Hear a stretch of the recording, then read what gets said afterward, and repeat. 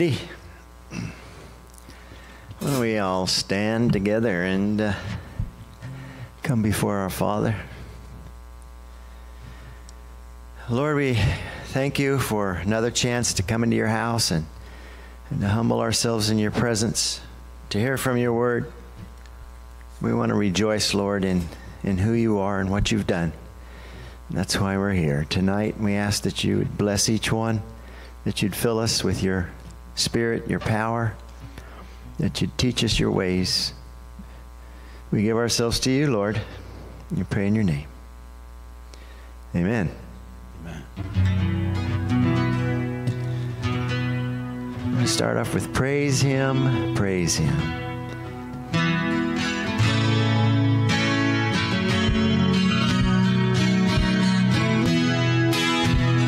Praise him, praise him, Jesus our blessed Redeemer. Sing, oh, earth is wonderful love proclaim. Hail him, hail him, highest archangels in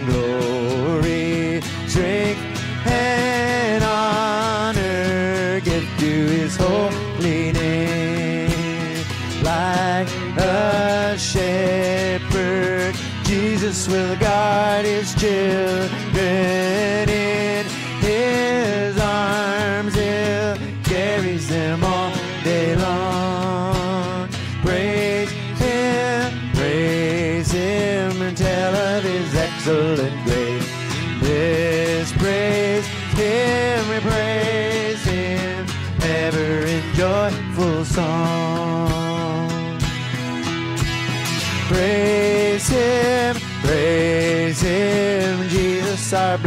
blessed Redeemer. For our sins he suffered, bled and died. He our rock, our hope of eternal salvation. Praise him, hail him, Jesus the crucified. Sound his praises, our sorrows, love unbounded, wonderful, deep and strong. Praise him, praise him, tell of his excellent greatness. Praise him, praise him, ever in joyful song.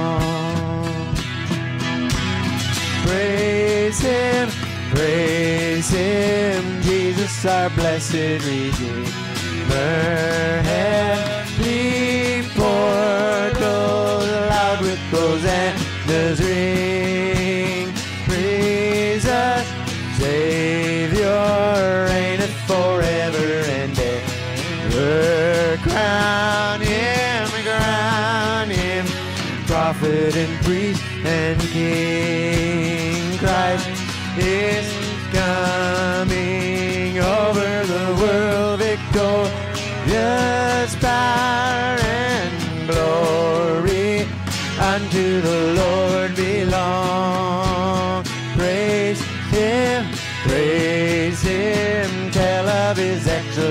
Excellent grace. Praise him, praise him, ever in joyful song. Thank you, Lord. The good things He has done for us. Amen. Yes, yes. All right, take a minute and say hello, and uh, we'll be right back.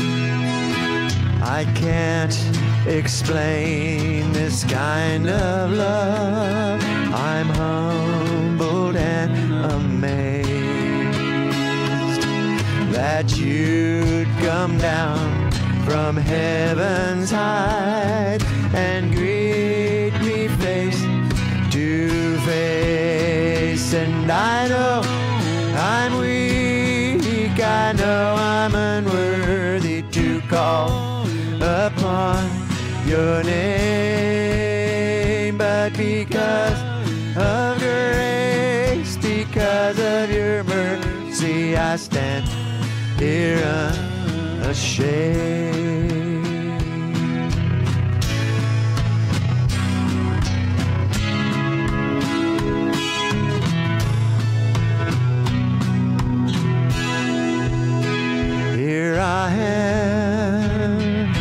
At your feet in my brokenness complete. Here I am at your feet in my brokenness complete. Here I am at your feet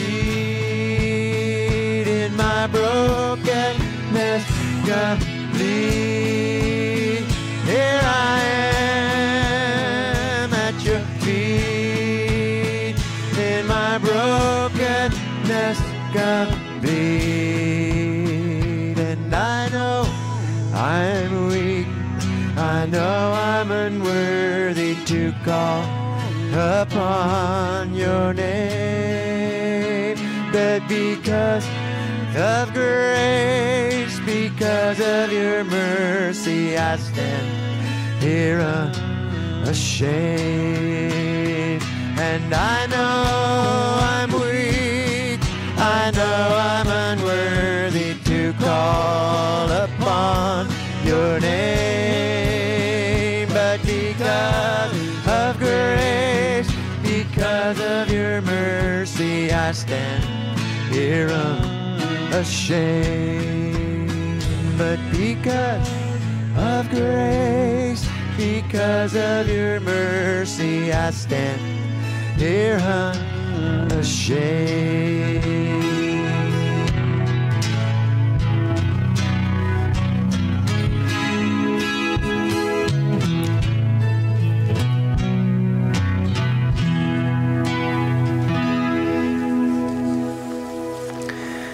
Want to thank you tonight for your mercy, God, and your grace, and your love, Lord. It's true, Lord. We can approach you because of Jesus, who poured his grace upon us. And thank you, Lord God, that, Father, we can come into your presence, that you can love on us and we can love on you, Lord God. It's a miraculous thing that, Father, we can have intimacy with the living God, but we can, Lord. And that's your heart and that's your desire. And you've put that in us, Lord God, so we thank you for that. We want to learn your thoughts, Lord, tonight. We want to learn your heart. So teach us, Lord God, through the word of God. In Jesus' name we pray, Father. Amen. Please be seated. So if you brought your Bibles today, hopefully you all did. We're in the book of Proverbs, chapter 8. Proverbs, chapter 8. So as you see, my wife's not here tonight. Have you noticed? Yeah. She was being bad, so no.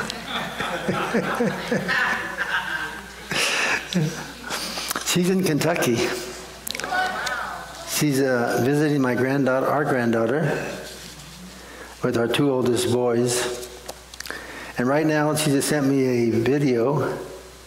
I looked at it before I came up here.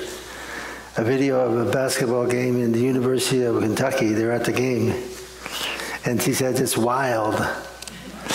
They're screaming. I mean, they're a basketball, big basketball uh, school. So they're packed.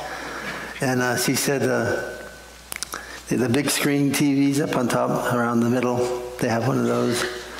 And they uh, zoomed in on Jimmy, my oldest son, and my granddaughter, and she, they were up there in the big screen. And I said to him, I don't know if they'll talk to me now that they're that popular. But they're back there having fun, enjoying themselves, and that's why she's not here. They're going to go to that Noah's Ark exhibit. That's all right, about 30 minutes away, so they're looking forward to doing that tomorrow. I think tomorrow or Friday, then she's coming home Saturday. And when she comes back, I'm putting her to work. Just kidding. now, don't you guys all tell them I said this now. Okay, Proverbs chapter 8.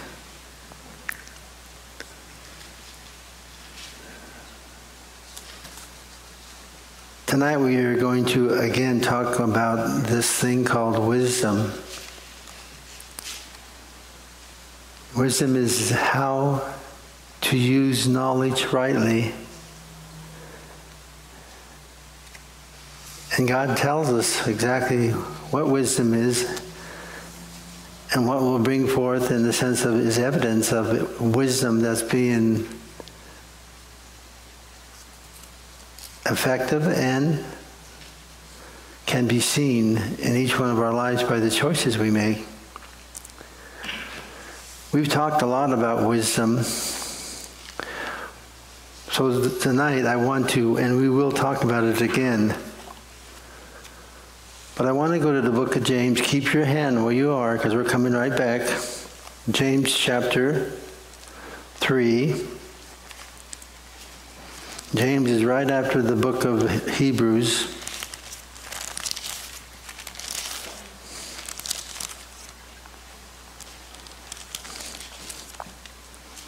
Right before the Peters, first and second Peter.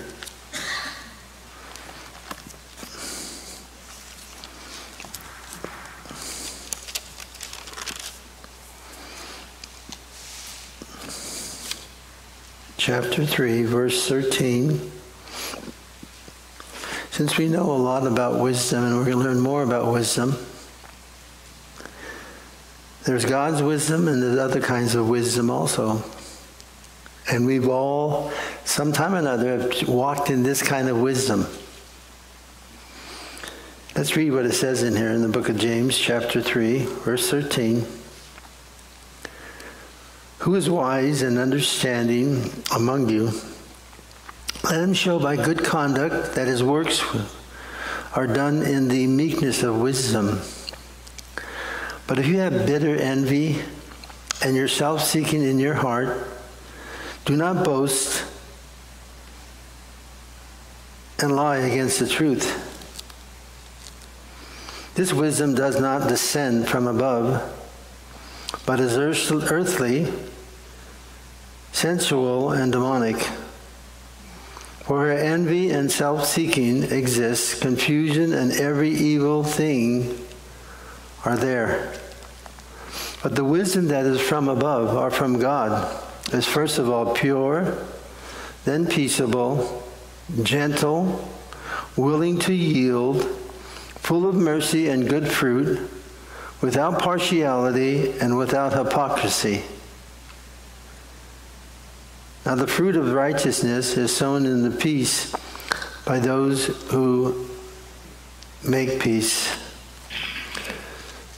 So, James teaches us and reminds us that there are three other kinds of wisdom besides God's. The first one he speaks about is a earthly wisdom.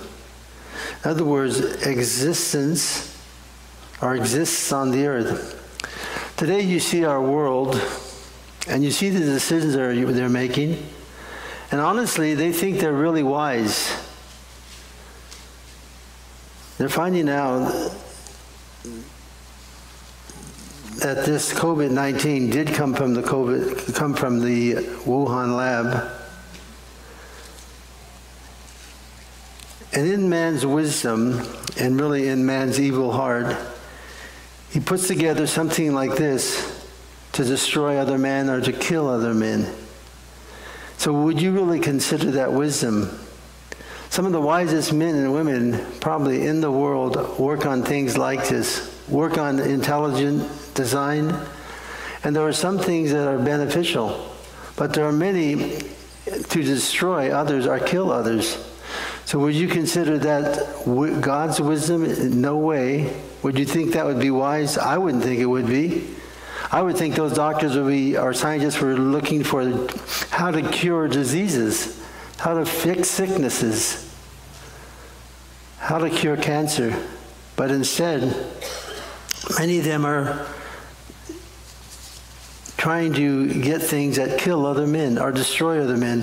And that always comes down to a thing called power. This is earthly wisdom that the Bible speaks of. Let's look at the second one sensual wisdom, corrupt desires and affections. These spring from the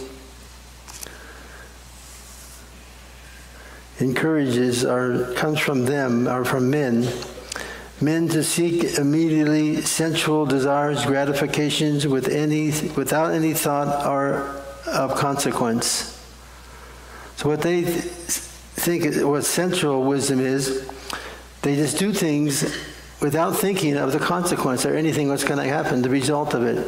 I just feel like doing this. This is what I feel like doing. It doesn't really matter. I don't care about the results. And we see that today in our world, that sensual wisdom, so to say, being used by many, many people. Let's look at this last one demonic resembling or proceeding from an evil spirit, demonic like. A good example would be Adam and Eve. Demonic wisdom. Demonic wisdom concerning the story of Adam and Eve questions God concerning motive. Question God's word. Did God really say that? You can be like God, and that's demonic wisdom. It has become very active in our nation. We are no longer a nation in the same way as we were 10 years ago concerning God. I believe that demonic wisdom is partly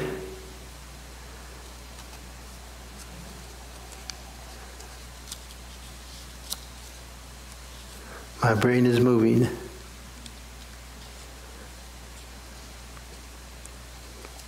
Are part of the problem concerning evolution. I believe that what we see in our world today concerning transgenders, concerning homosexuality and lesbianism, and it's partly in the book of Romans, chapter 1, also, but I believe that this is partly demonic. Questioning God and God's Word and the truth of God's Word. These are wisdoms that all of us have used sometime or another, been involved with. And now that we're Christians, Now God wants to give us wisdom. But we need to know that there are false wisdoms that come out. Now, let's start in the very first verse. It says, For wisdom cries out, and understanding lifts up her voice. She takes her stand on the top of high hills, beside the way where the path meet. She cries out in the gates at the entry of the city and the entrance of the doors. To you, O men, I call. And my voice is as the souls of men, our sons of men, I'm sorry. O you simple ones, understand prudence, and you foolish are fools, be of an understanding heart. The first we see, we see Solomon writing, and he's writing, remember, to his son. And God is speaking to us at the same time. We are the children of God. Our Father writes to us. And it says, Wisdom cries out. In other words, wisdom wants to reach everyone and therefore broadcast her message publicly. Wisdom words can be trusted. Now, notice who it cries out to the simple.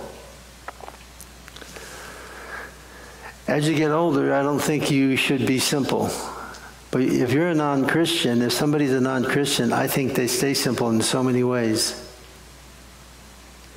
This word simple literally means naive, foolish, childlike, or easily influenced.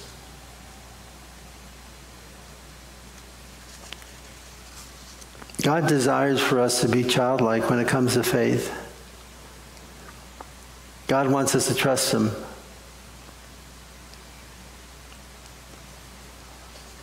But God doesn't want us to stay simple in this way.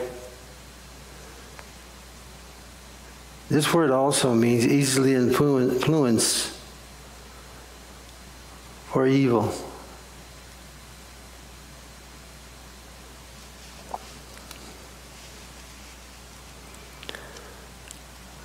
I read a lot of articles concerning what's happening with our young people.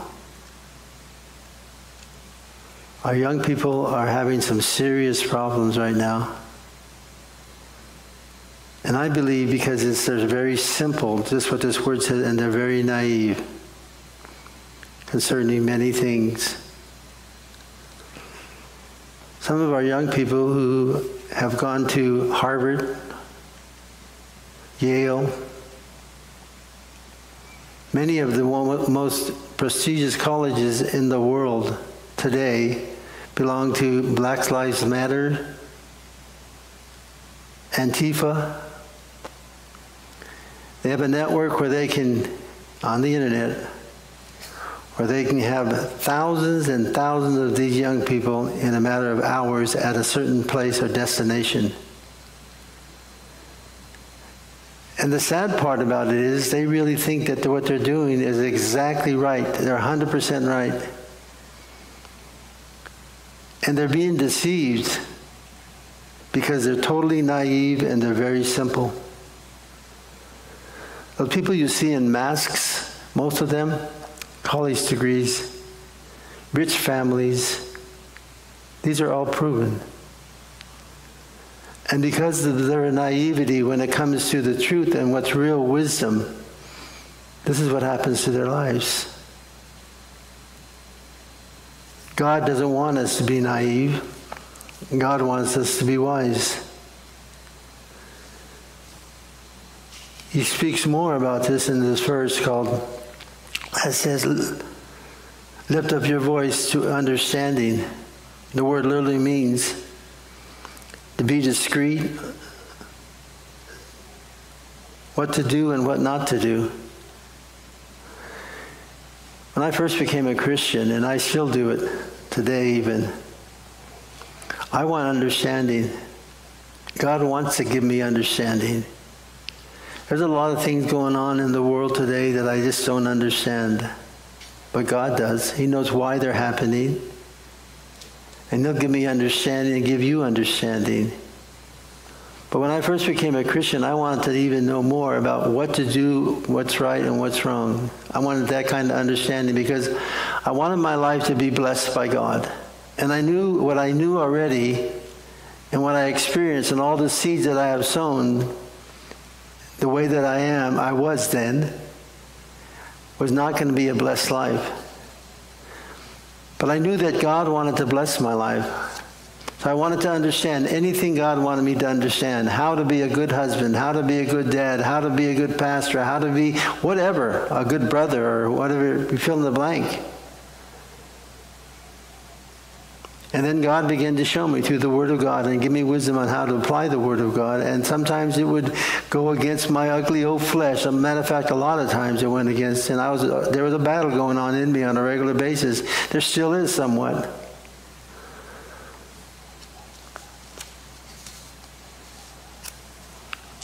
But God wants you to know, and He cries out on what to do and what not to do, even how to do it. But I have to be open and willing to say, This has been the word for me this week. I surrender. I didn't say you surrender, I said I surrender. And that's for all of us.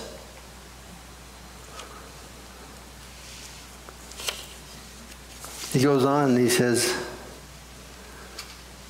And you fools. Let me read you what the Hebrew word means for that.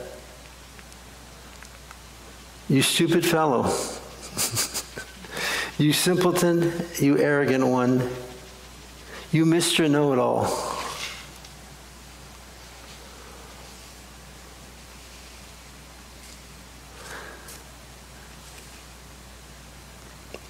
The Bible, and I've spoken about this before, from experience and from the Word of God, that it is so important that we keep our hearts in the place of we are humble and meek and lowly. Because then we can discern what God is telling us, whether it's true for, of us or whether it's not true of us. I read the Bible every single day. I study almost every day. But my point is in saying that is this. I want to know what God is speaking in the sense of is he speaking to me personally? I know I study a lot so I can teach you, but I have to learn myself and God has to work in me and change me first. And so God tests it on me first.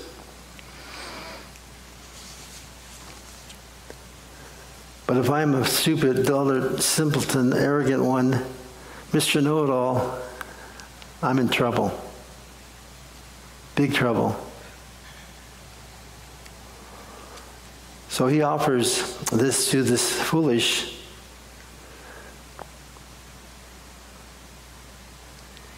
And then he speaks about being of an understanding heart, one that is distinguished, one that has insight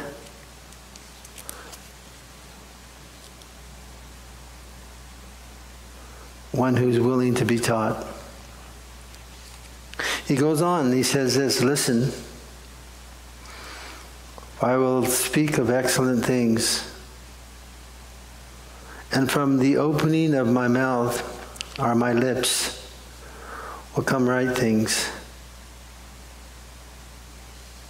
So he says he's going to speak to them excellent, which means plain or evident the truth, something that is of great honor. And from the opening of his lips, he's going to speak right things. That word means upright, straightness, smoothness, rightly. What I say is just and right. That's what that word means. If you ever have a question concerning the Word of God, whether it is the Word of God or whether it's all the Word of God, you're in trouble. Whenever we get selective when it comes to God's Word, we're in trouble. The Bible says that the Word of God is infallible, that it all contains God, what God says and what's on God's heart for us.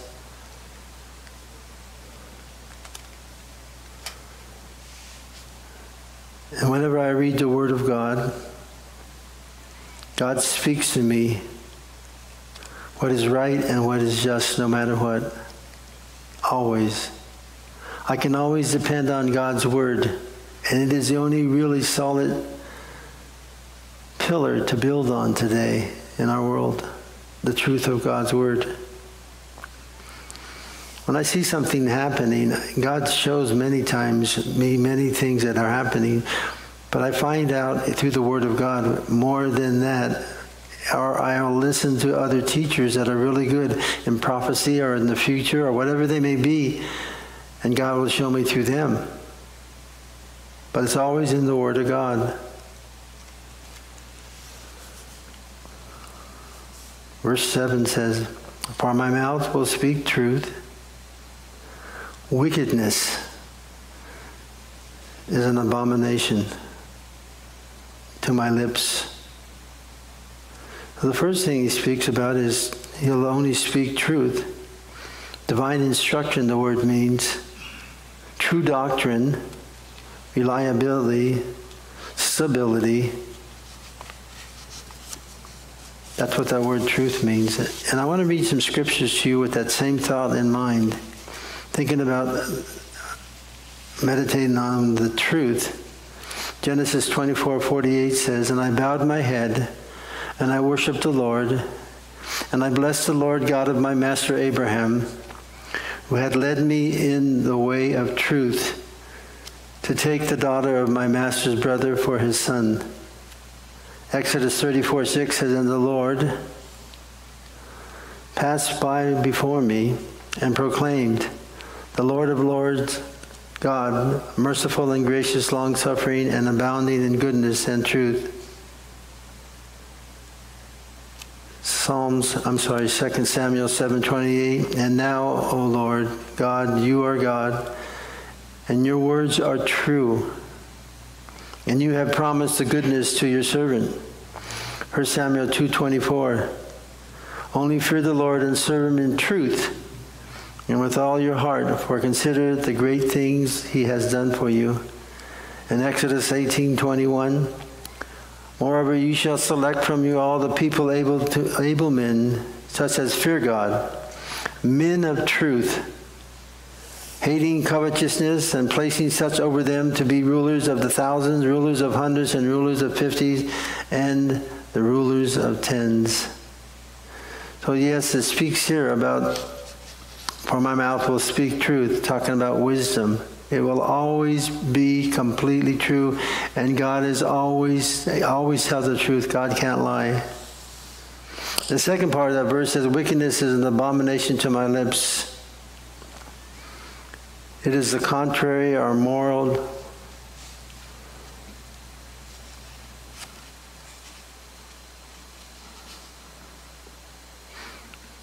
what's true and what's right. So it says here, wickedness is an abomination to my lips, false lips are speaking falsehood, opposite of what is true. Wisdom is never, ever going to lie.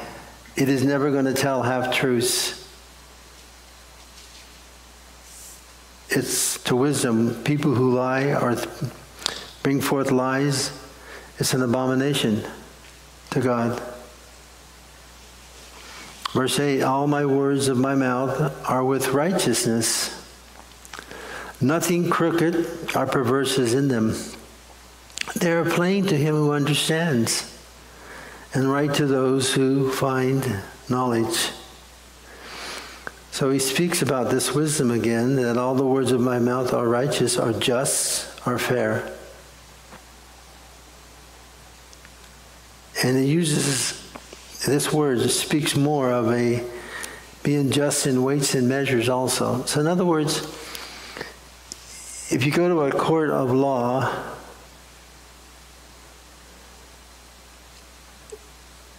and the judge finds you guilty or not guilty, and it's a fair verdict, then that's justice.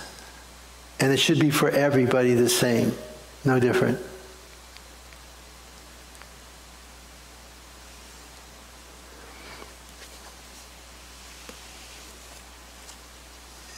It's hard today to see some of the things that are happening in our courtrooms.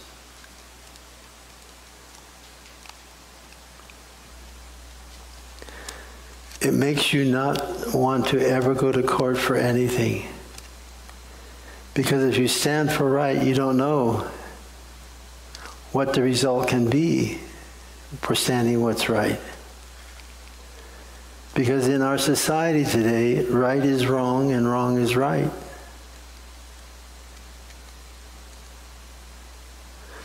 But remember when God, what the book of Proverbs speaks to us and assures us that the judgment from a judge, our leader, is not in their hands, but it's in God's. I have to remind myself of that. Not that I have to go to court, but I just have to remind myself of that. He makes this statement, nothing crooked or perverse is in my is in them. This word perverse means twisted or distorted or crooked or contradictory to this truth. They are plain to him who understands. They are straight right in front. They bring a smooth path without stumbling, and right to those who find knowledge. They are upright and fitting. Verse 10 says, And receive my instruction, and not silver, and knowledge rather than choice gold. For wisdom is better than rubies and all the things one man may, may desire cannot be compared to her. So the Bible teaches in this context tonight that wisdom, I'm sorry, receive my instruction and not silver. So it speaks about receiving the instruction greater than you would receive gold or silver. It's more important. And that word literally means it's to lay hold or seize or acquire or buy or even marry my instruction or my discipline, my chastening, or my correction. That's what that word instruction means. So, why does God, and I think we need to see the heart of God, able to accept that the way God wants us to. So, why does God discipline us and chasten us and correct us? My children were growing up,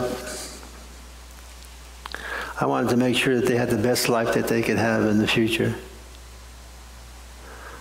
I wanted to make sure that they were loved they were taught the Bible and they were, the Bible was lived before them. So when they got out into the world, they would know how to deal with things God's way. And there were times I had to spank my both my boys, the oldest boys and the youngest. I had to chasten them at times. I had to correct them at times. And I was even wrong at times. One time I remember specifically when I did correct him and I had to spank him. My oldest son, Jimmy, was eight years old, I think he was, and he was throwing rocks outside, I thought. And he wasn't throwing rocks outside, but I didn't find out after that, found out that until after I had spanked him.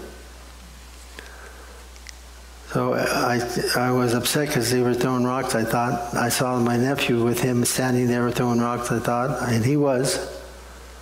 My son wasn't. And so I took him in the room and said, "You know what the result is? Come on, I'm gonna get a. You get a spanking." But Dad, but I said no. I learned what not to do after that concerning him with that. I prayed and we talked before we did that the next time. But I gave him a spanking and I said, Now, what do you want to say? I wasn't doing wrong, Dad. I said, Okay. Did you want to spank me tonight? That's what I told him. He said, No, I don't want to spank you. My point is, the reason why God spanks us at times is because he loves us so much and he sees the destruction that sin causes and disobedience and rebellion. He sees all those things and he wants to get us out of it. He wants us to have a blessed life, a godly life, a life that prospers inside and outside, a heart that's not filled with guilt and condemnation. That's what God desires. So God allows these things to be. So we have to receive instruction from God.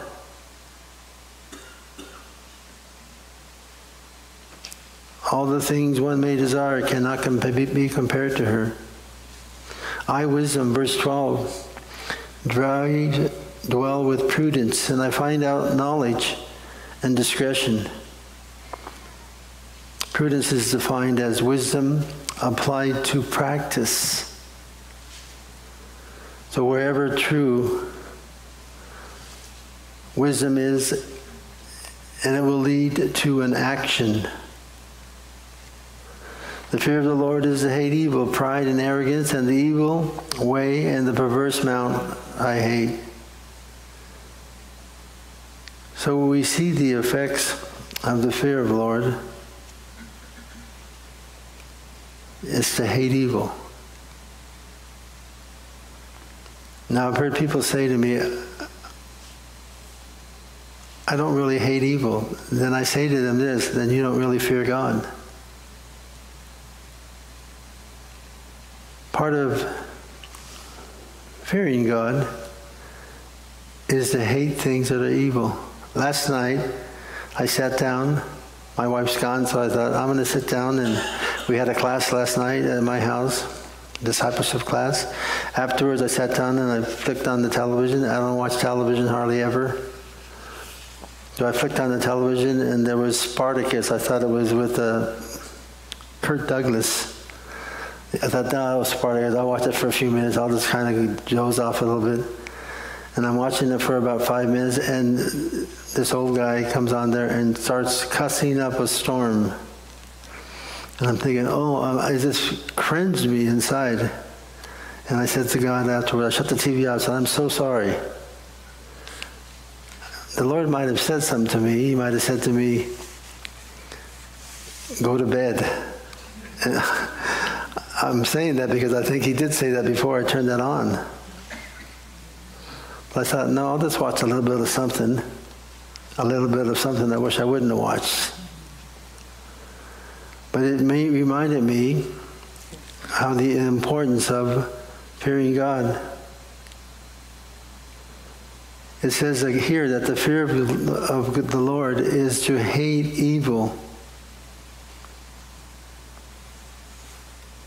I don't think that we have a problem in the sense of believing that we hate evil. But I want you to remember what evil is. Evil is much more than just an evil, horrible person who murders somebody. That's evil. But this word means giving pain or causing unhappiness or misery to others. Are you having it? Evil will bring that to you, to your life or into your life. It means being unkind or hurtful or vicious in disposition. It means wicked ethically in general of persons, their thoughts, our deeds or actions. It means morally bad or wrong or harmful, injurious. Sin.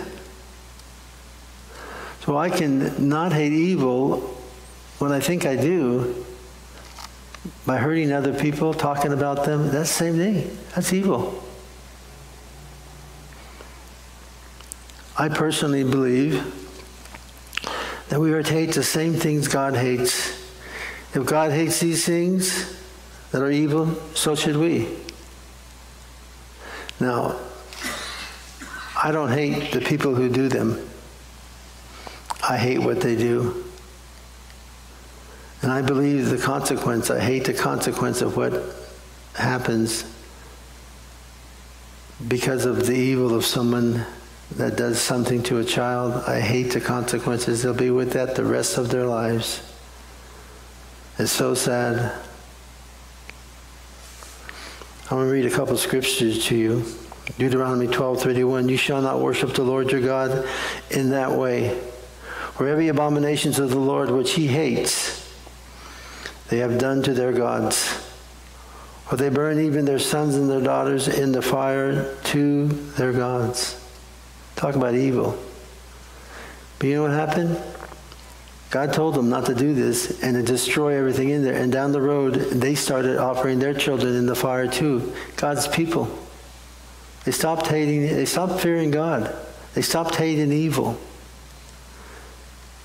Let me read another scripture to you. This was Deuteronomy 16 22. You shall not set up a sacred pillar which the Lord your God hates. God hates demonic idols. Now, listen to what else God hates.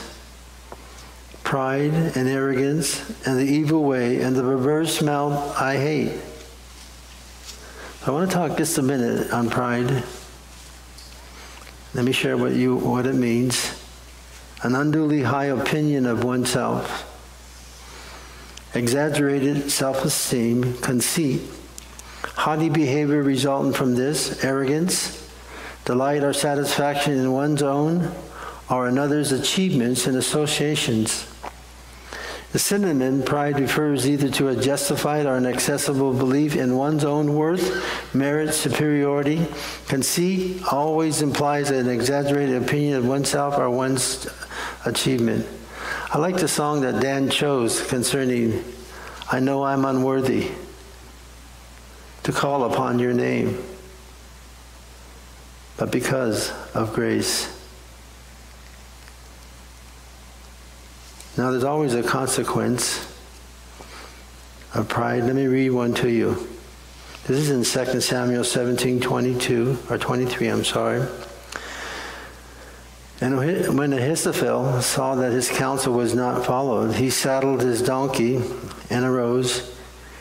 He got him home to his house, to his city, and he put his household in order and hanged himself, and he died and was buried in the sepulchre of his fathers. Ahithophel was one of David's counselors. Absalom, David's son, rebelled against him and took over the kingdom in Jerusalem. And he stayed with Absalom, and then he began to speak to Absalom about what he needed to do. God sent another man, I think his name was Hiram, and he gave him the opposite counsel. And Absalom took his counsel, so he didn't take Ahithophel's counsel. And so, because of pride, Ahithophel went and hung himself. That was pride, took his life, so to say. Let's look at another one.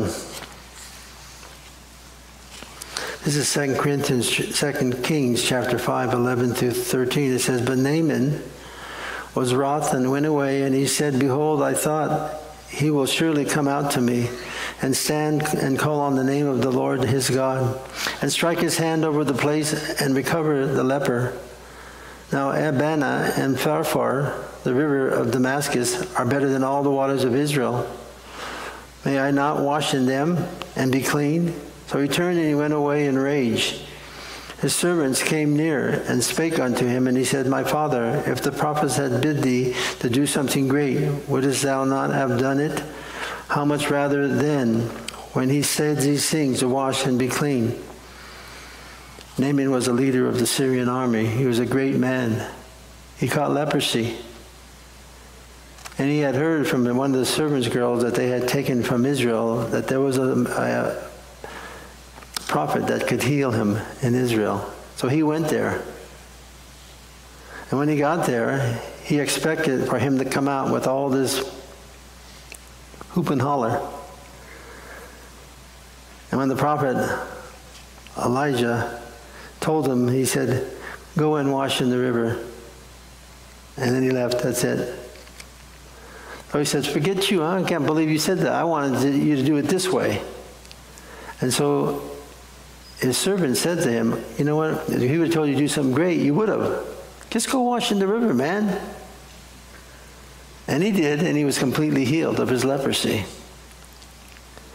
But his pride almost cost him his life because if he wouldn't have went and uh, dipped himself in the river, he wouldn't have been healed. He, he gave up his pride, thank God. There are many things that God wants to do in our hearts and in our lives, miraculous things. But a lot of the time, we have to humble ourselves before God and do what God says, the simple things. I have found as a Christian, there's nothing too low in what I need to do if God tells me to do it. You too, no matter what it is. If God says, I want you to go pick something up, off the floor, you need to do it. If God says go wash a toilet for somebody, you need to do it. God has blessings for you in mind. And because of not doing it, you lose the blessings. Now let's read what Abraham Lincoln wrote about pride. We have been the recipients of the choicest bounties of heaven we have been preserved these many years in peace and prosperity. We have grown in number, wealth, and power, and no other nation has ever grown like us. But we have forgotten God. We have forgotten the gracious hand which preserved us in peace and multiplied and enriched and strengthened us.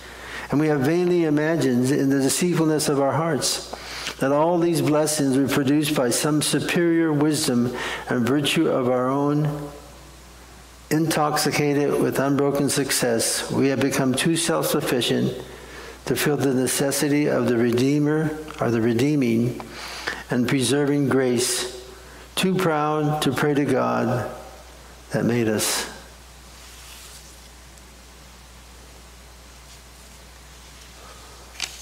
That's kind of a sad one, isn't it?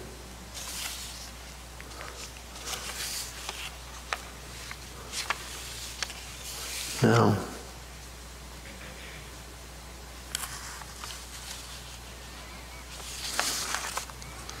I got my papers out of order. I'm trying to find my next page.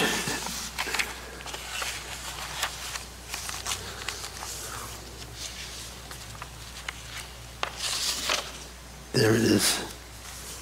Benjamin Franklin made this statement There's perhaps no one of our natural passions so hard to subdue as pride. Beat it down and stifle it and mortify it as much as one pleases. It is still alive. Even if I could conceive that I had completely overcome it, I should probably be proud of my humility.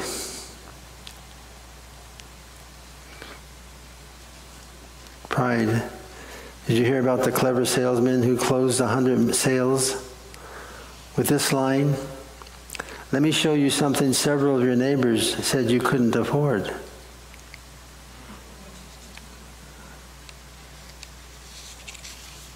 Now, let's look at pride's sister, arrogance.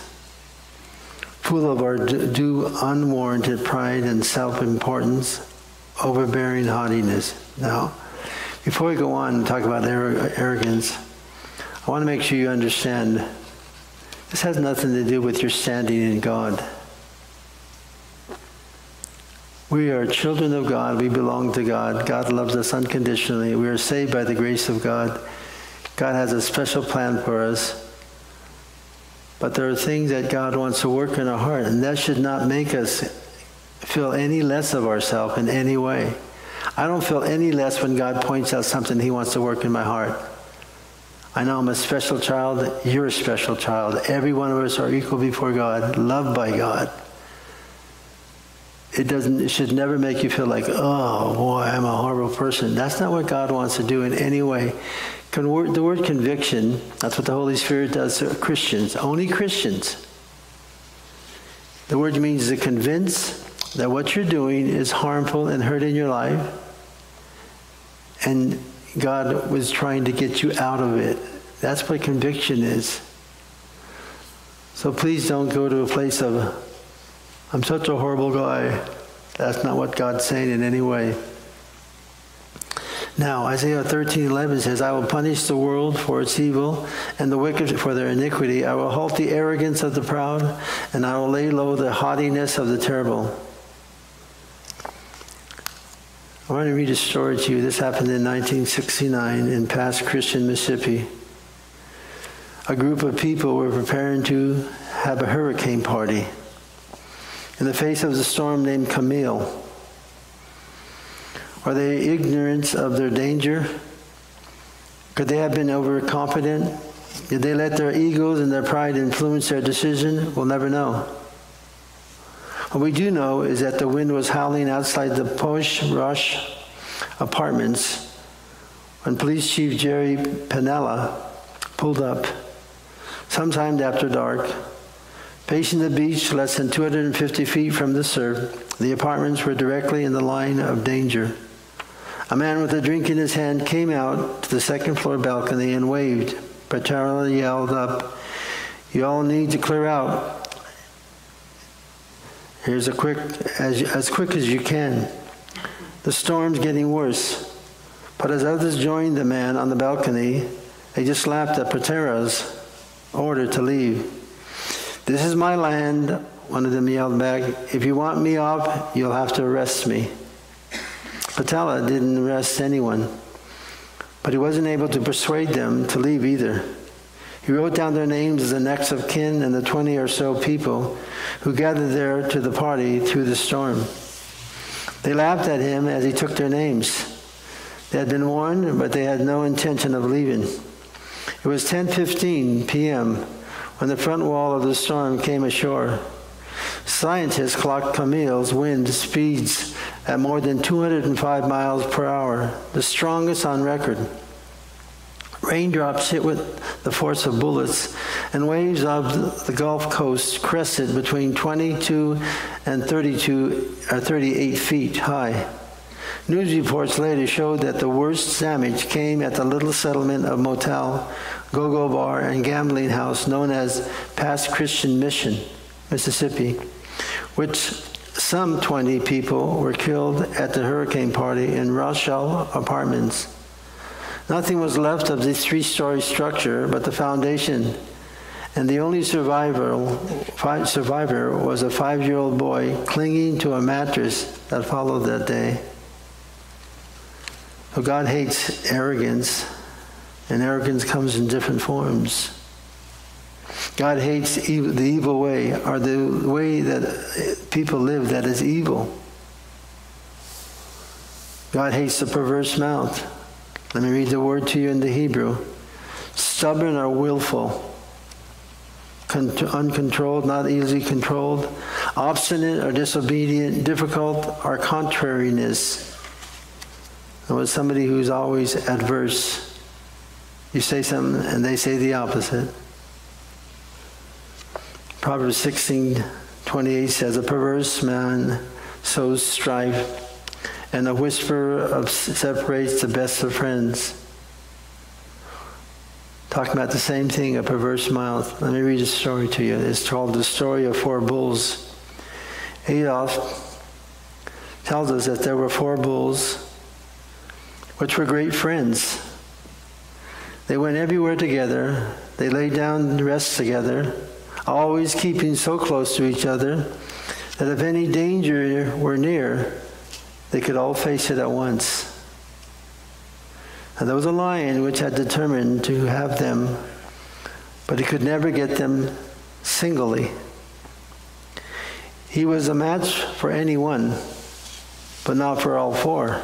However, he used to watch for his opportunity, and when one lagged the least bit behind the others as they grazed.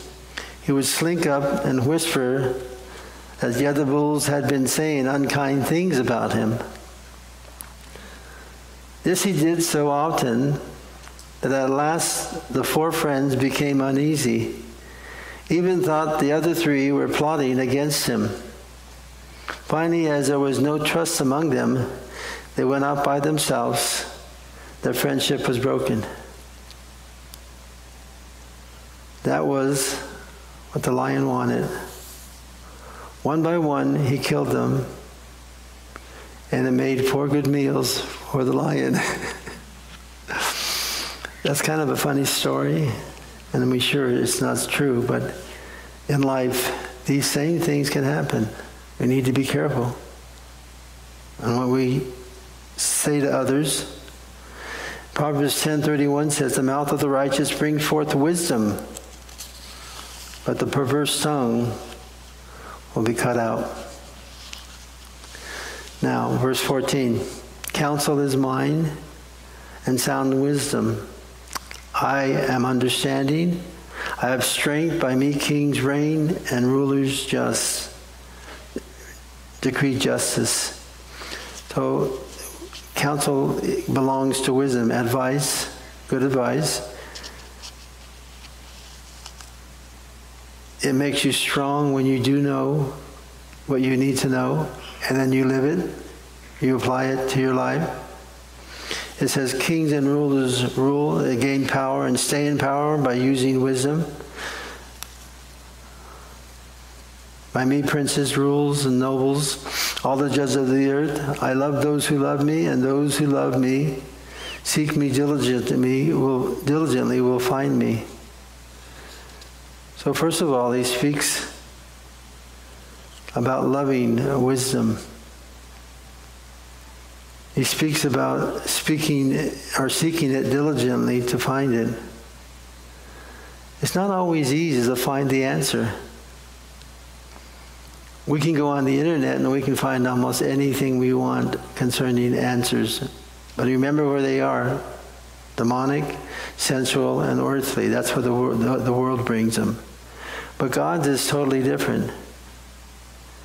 In order to find out wisdom, you have to diligently seek it. You have to do some work, sweat. It's kind of like going out and cutting the tree down and cutting the wood and then splitting it and then stacking it and then taking it home and stacking it at home. It's a lot of work, isn't it? It's the same thing in finding wisdom. But the Bible makes a promise if you will seek it, it will be found.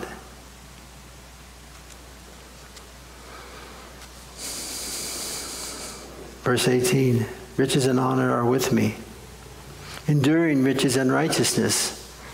My fruit is better than gold, yes, than fine gold, and my revenue than choice silver. If you treasure wisdom more than gold and silver and rubies, you will find that the result will be better than gold and silver. As you get older, you begin to realize things are not so important as much as they used to. possessions aren't so important.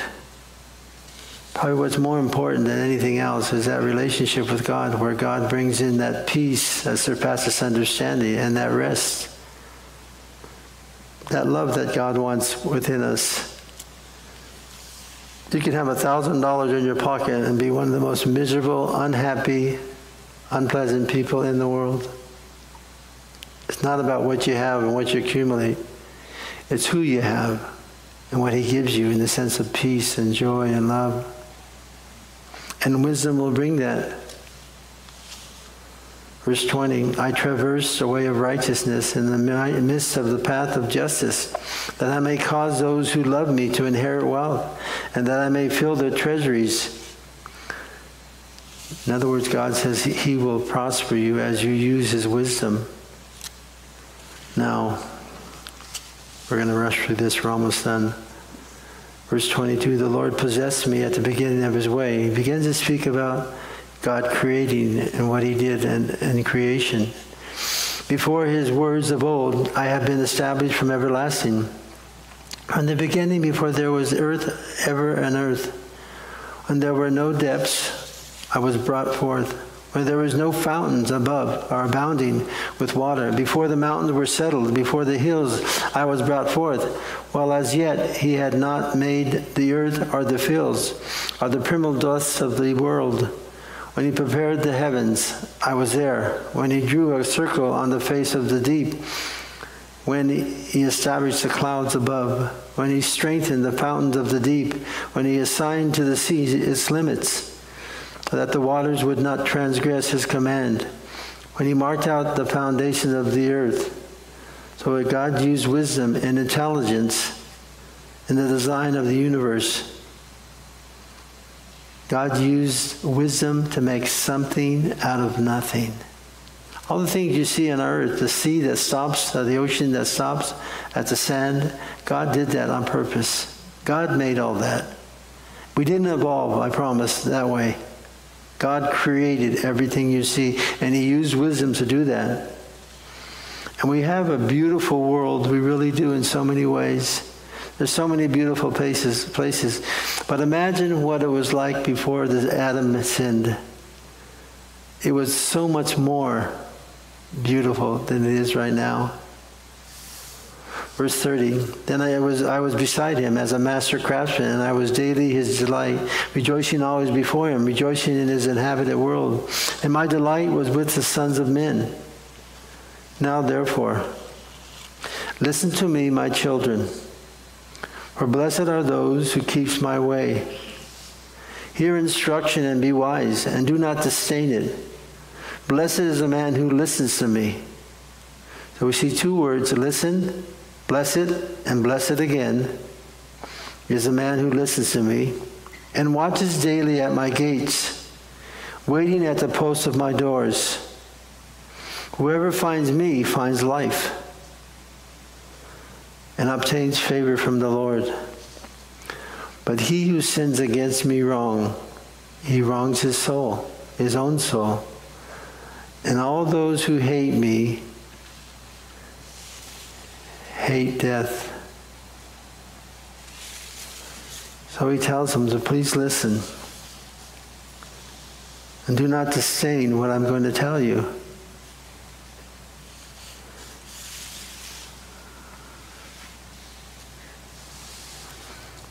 So, how teachable are you before we end?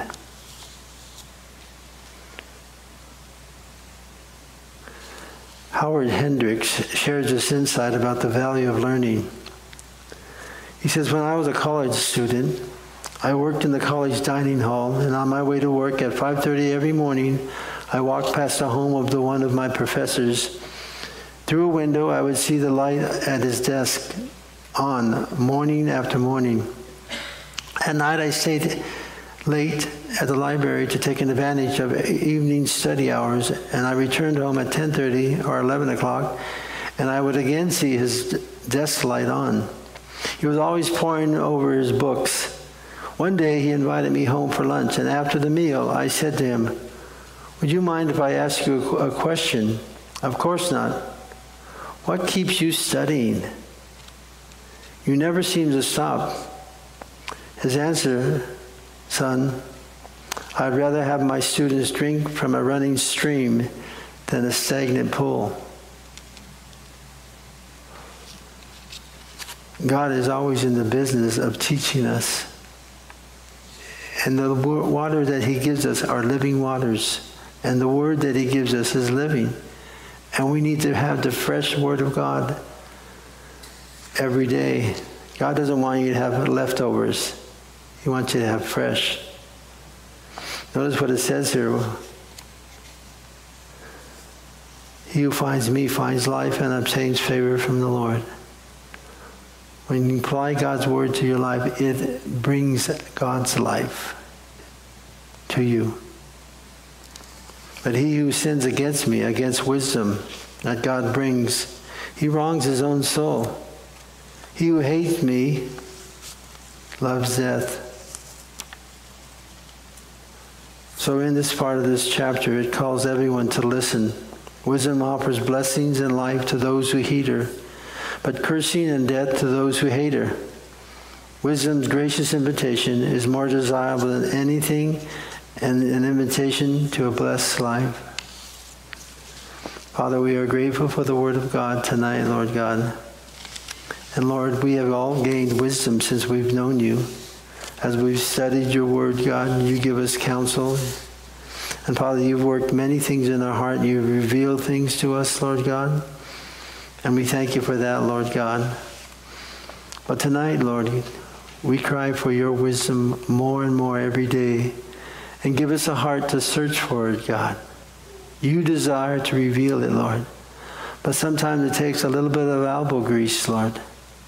So I pray that you'd put that in our heart, that we would, Father, want that wisdom. And Lord, there are some things, Lord God, that prayer brings wisdom, Lord. You say in the book of James, anyone who lacks wisdom to pray. So, Father, if there's a decision or someone has to make some decision that's important in their life, Lord, and it's not, Father, Scripture in the sense of they can't find the Scripture, Lord. Reveal, Lord, your wisdom to them and what you would have them to do or not do, Lord God. Where you would have them to go or not go, Lord God. And may they surrender to whatever you desire, whatever is on your heart concerning them and your great love for them, Lord God. In Jesus' name we pray, Father. Amen.